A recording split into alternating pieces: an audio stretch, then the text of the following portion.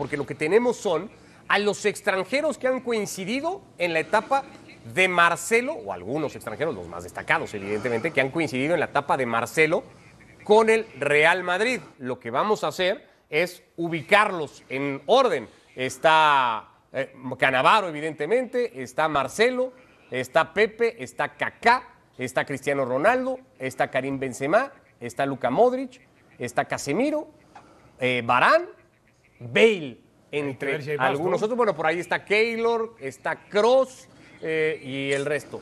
Del 1 al 5, del 5 al 1, que siempre es más interesante, Sí, Dionisio. lo que quiero ver es si hay más todavía, ¿no? Si nada más son esos, ¿no?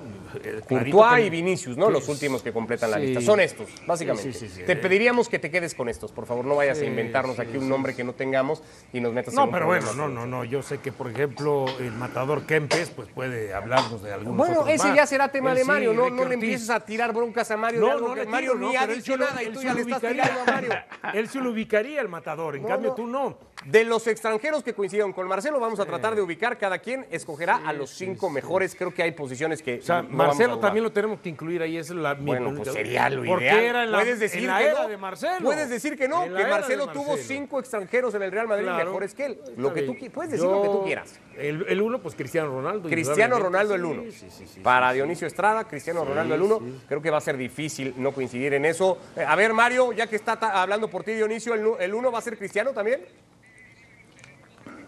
Sí, sí, con gran diferencia para todos, por todos los años, por todo lo que se ganó. Y fíjate que estás nombrando delanteros, goleadores, y lo mezclas a Marcelo en esa lista. ¿eh? Sí, que correcto. si vamos a lo que hizo uno y otro, hay que tener cuidado con lo que elegís. Pero bueno, siempre los goleadores han estado en primer lugar. Entonces, Mario y Dionisio ponen de uno a Cristiano. Ricky también, ¿te ponemos de uno a Cristiano? Sí, Sí. sí, sí. Y Cristiano, no hay dudas. Y yo también pongo de uno a Cristiano. Ahí no hay debate por medio. Cristiano es probablemente ya el mejor jugador en la historia del Real Madrid. Eso lo podríamos debatir cualquier otro día, pero bueno, los dos, los cuatro dejamos a Cristiano de uno. Dicho eso, vamos a pasar al cinco, ¿no? Mejor o al dos. ¿En qué orden ¿Ah, sí? quieres ir, Dionisio? En el orden que tú quieras. Vámonos con el 2, ¿no? Con el dos, dale. Vámonos con el 2. Indudablemente hay muchos jugadores con gran calidad, pero yo dejo hoy lo que es Benzema. Benzema de dos. Tú pondrías a Karim En Benzema. la era de Marcelo. sí, Ya claro. de dos, el Sí, ya además, tercer máximo goleador en la historia del desde Real el Madrid. 2010 está en el Real Madrid y no incluirlo, no, no, claro que sí. Entonces, Cristiano 1, Benzema 2.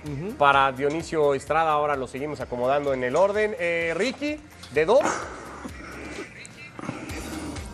Sí, también a Benzema. A no muy lejos de Cristiano, pero sí, segundo. Sí, sí. Mario, Una, una pregunta. dime. Ma- eh, ¿Marcelo jugó en la época de Raúl? Sí, pero son Raúl, solo ¿jugó en la extranjeros. época de Marcelo? Pero sí, coincidieron un ratito, por eso Ah, hoy extranjero, parte del discurso que le dedica a Raúl cuando Sí, lo por menciona. eso eh, era eso. Pero son solo extranjeros, Marito. Sí, sí, Me parece jugaron. que vamos a estar.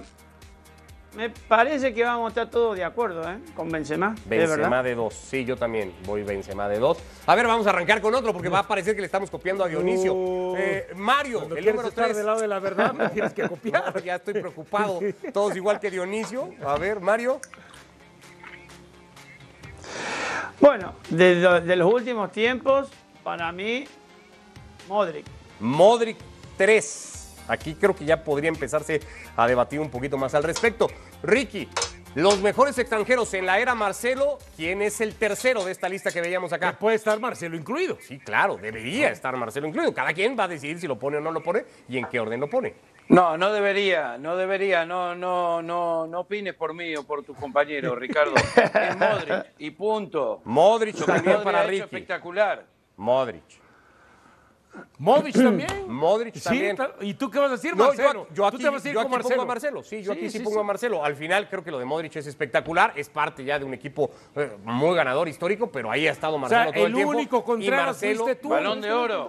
¿Eh? No, no- no es que sea Contreras. Balón de oro. Balón Sí, de pero oro, en el rendimiento para el Real Madrid, creo que con todo y lo bueno que ya ha dejado Modric. Ya se calentó Ricky Ortiz, Ahí ya se están calentó. 25 Push. títulos. Bueno, no, es que ahí Ortiz se 25 calentó, títulos. Eh, pero ¿cómo va a elegir a Marcelo por encima de Modric? Ricardo, Hoy, me extraña. sí, Modric todavía no cierra su etapa ¿Ya en el? Real Madrid. Hoy sí. Yo voy Marcelo 3. No, está bien. Al final fuiste el, el que vino descomponer Benzema tampoco.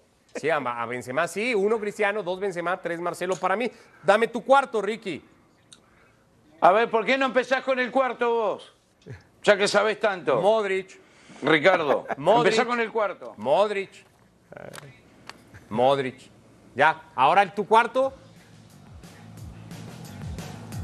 Pepe es, es mi jugador, mi estilo Por de jugador. favor. Felipe Melo, Pepe, favor. Sergio Ramos, Gary Medel.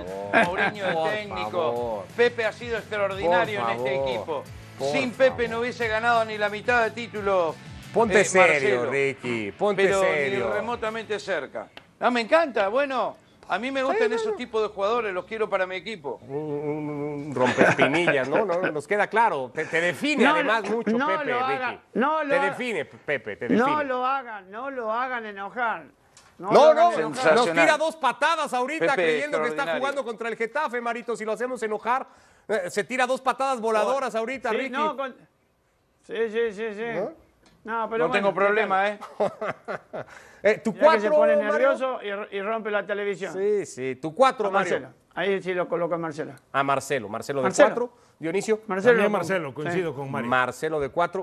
¿Vas a poner a Marcelo, Ricky, entre estos cinco o tienes No, pero- alguna otra sorpresita Pero para ¿cuál tu fue el número tuyo, cinco? Push? ¿El cuatro? Modric. Y Modric, no, no, lo voy a poner a Marcelo porque el segmento es dedicado a Marcelo. Ah, pero si no, no lo pondría, ¿eh? Marcelo.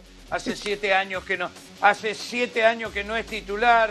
Pero a ver, yo para que no sigan llorando, poné a Marcelo Quinto, está bien. Por favor. Marcelo. Siete años que no es titular, ¿eh? Marcelo. Un poco exageradito estás con las cuentas hoy, Ricky. Dionisio, tu quinto. Yo me voy a quedar con Tony Cross. Tony Cross de quinto. Ok. Eh, Mario. A mí me parece que es un jugador muy interesante, pero me quedo más con Casemiro. Casemiro. Yo coincido es con Mario. uno de los alma mater que tiene este Madrid. Sí, yo coincido con Mario. Eh, Casemiro para mí es fundamental. Se habla, Ricky, de las razones por las que el Madrid gana lo que gana. Pues en, en Casemiro hay que encontrar muchísimas de ellas. Lucirá mucho más Modric, eh, meterá más goles Cross a veces, pero lo de Casemiro, por favor, el rendimiento que tiene el brasileño. Pues ahí están los cinco mejores extranjeros en la historia de Marcelo. Participen también ustedes. El hashtag es el de ESPNFC. Lo pueden mandar en redes sociales. A ver si hay alguno que coincida con Ricky y diga Pepe entre los cinco. Solo como por curiosidad, ¿no? A ver eh, qué dice la gente que nos está Un viendo. picapiedrero, ¿no? Sí, un rompespinillas. Pero bueno. Eh,